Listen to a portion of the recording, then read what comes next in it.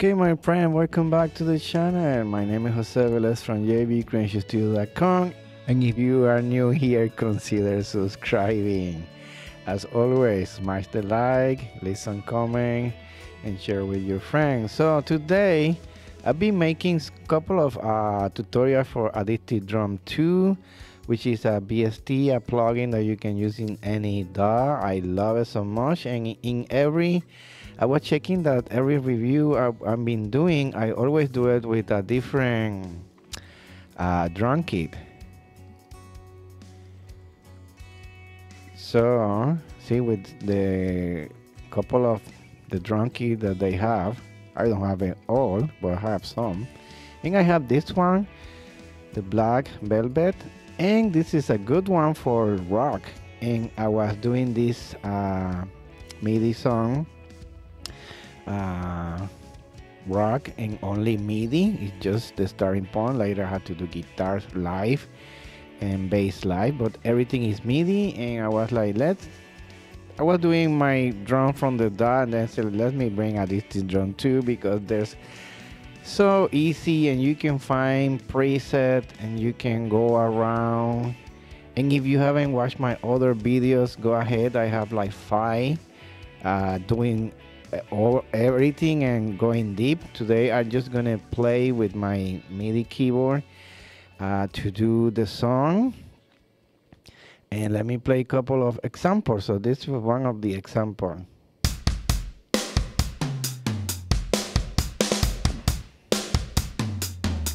very good see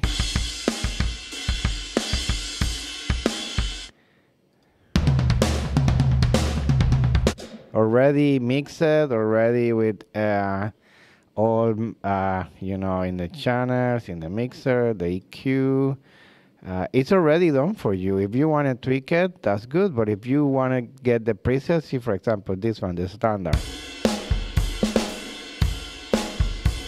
Already with some deep in the snare some compression. One send so it's ready. This is ready out of the box. So I'm gonna choose this preset, and here you can have a quick uh, mix if you wanna do a little bit. If you wanna go deeper than here, and I have you know the tutorial that I'm explaining all of these. For example, the effects essence. So here I can have the snare with two right now delay and reverb so reverb and then delay here. And yeah this is a lot to go into the bus the room the overhead the master. And if you want to send me an email to teach you along yeah i can do that. So i've been doing that too. So what i'm gonna do i'm gonna play with my midi keyboard uh, this time I'm not gonna be choosing any beat from the library. I'm gonna play it in the keyboard and let's see what, what we can do this. So I'm using Reason today, but also use Studio One, use whatever you have. So one thing, go to the preference in your system, look for the buffer size right now because I was uh, doing a little mix there. I put it in the higher sample rate, but to record you have to lower that. But if your machine start making some weird noise and pop, bring it down. So because this is a laptop, I'm not working in my main computer. I'm working in my laptop today. Let's see if my laptop can handle that 256. And I'm gonna be playing here. See, this sounds amazing. See, when you go here, you have the velocity if you go from the lower to the higher. So this is awesome. The snare. So you have all the velocities and the sound when you play soft is soft, when you play loud is loud, but with the character. So let's record here. And I have my channel here Addictive Drum. Here I open two channels for example in my in in the same one I can open a new lane without opening another channel. So I'm clicking here and I open opening check out how do you open your another lane in your DAW here I have three that way I can do the snare and the kick in one lane and then in the other line I can do the hi-hat and then in the other one I can do the crash to make it simple. See, if I have this, the latency in the uh, bigger 4000, gee, it is late when I play because you have to lower that. Now it's faster, the response much faster. So it's like I'm playing live. And one more thing. There's two things here. When you go here into the lines the hamburger section I see like a hamburger. Window map. General MIDI so two things here if you want to uh, do and find the sound on general MIDI normally this is the snare this is the kick this is the high tone, medium, and low, and low. This is the crash, normally in general MIDI. This is the hi-hat. So this is a standard in general MIDI. And then you have a couple of another crash, and, and crash, and the, the, the right, the bell. So it's always there. But you have the standard Addictive Drum 2 this one is great. If you are not going to be using General MIDI with other sounds that you have in your library, other uh, also other rhythm with MIDI that you can have General MIDI. I have that, so I have to be careful because I like to use a lot of General MIDI. But if you're just going to use Addictive Drum 2 and what Addictive Drum 2 have in the library, you can stay with the standard Addictive Drum 2. And this is great. Let me show you why. here. I have here the kick, the snare, but I have the other uh, sample of the snare in the corner and another one. So I can combine all of this. So I have four here. And one more here. So I have five to make it more realistic, like to sound. You see, so you can play with that, but then here's not the crash, because then the crash is in other way, and the hi-hat is not here, it's here. But then you have more sounds, so you can be more creative. Okay, so now I'm going to show you how I did learn uh, with the keyboard.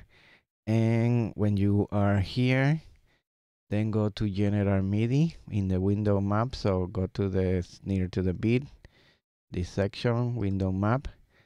And normally is a standard Addictive Drum 2 which is going to be in different places. But now the one that I'm using is general MIDI because the plays are always the same. So this is the kick. This is the snare. You have another snare here. And then you have the tones from the high C. And then you have the crash here. And the hi-hat here. The open hi-hat. And so I'm gonna be playing for the kick the snare and couple of tones and then in the second take I'm gonna do the hi-hat and then the crash so that this is what I did. I remember buying a book of how to uh, learn drums, and then I was transferring all of this in the keyboard. And then later I bought a drum and started learning in the drum. But first I remember learning in the and the keyboard key, so it was a lot of fun. So let's do that. Let's record here. Gonna start with the kick and the snare and the toms and then I'm gonna do an another take.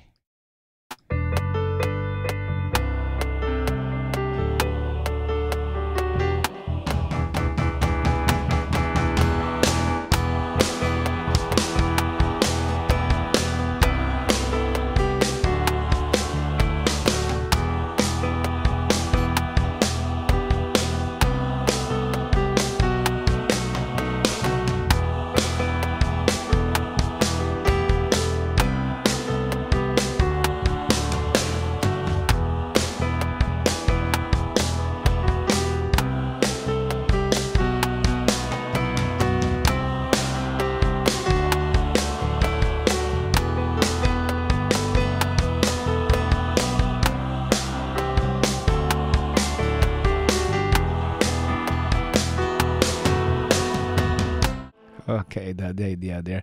This is just an example uh, to show you how I was doing it. So now I'm gonna do the hi-hat and the open hi-hat and the crash.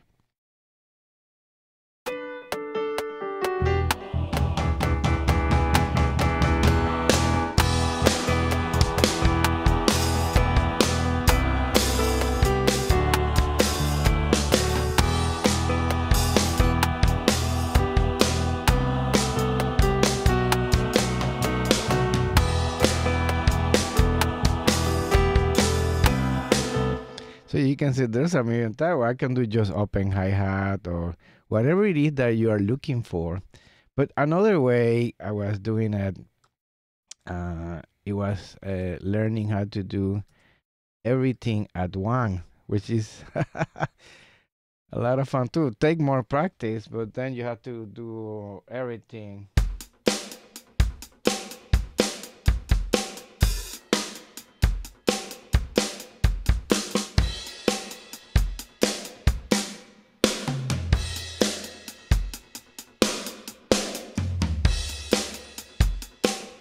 Uh, take more wine. I, I haven't practiced in a long time, so let's see how it goes.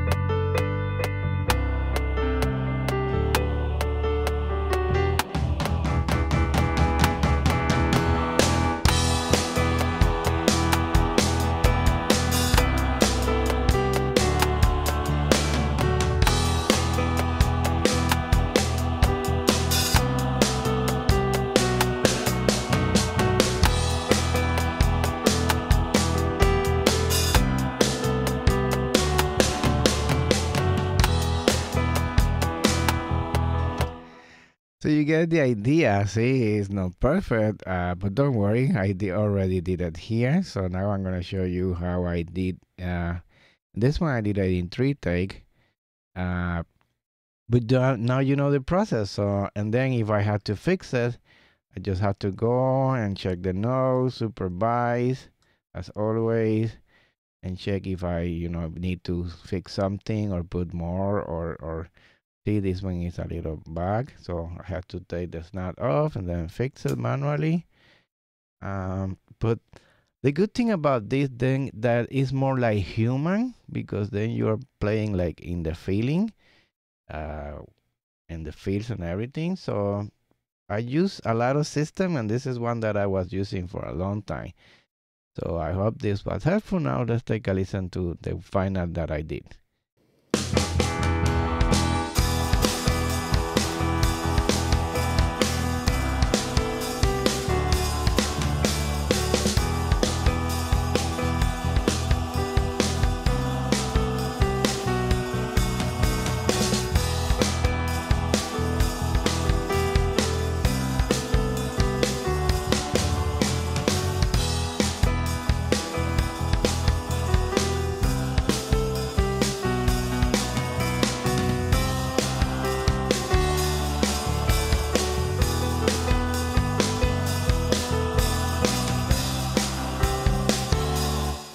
came out really nice. Now I have to record my guitar, my bass, so it's coming along. Uh, to close, when you go to play, to uh, select the kick or the snare or the hi-hat, then you can see what they did to the sound and study that.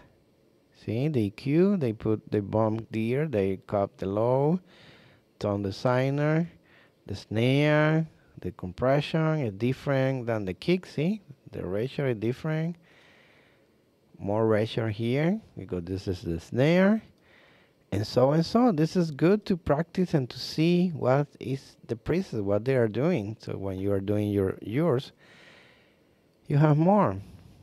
So thank you guys Smash the like if you like this content, if you want to see more, and if you want to contact me to show you more personally, I can.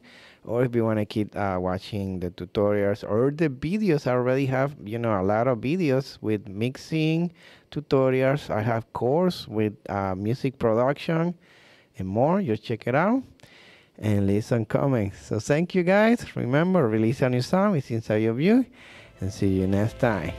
Bye.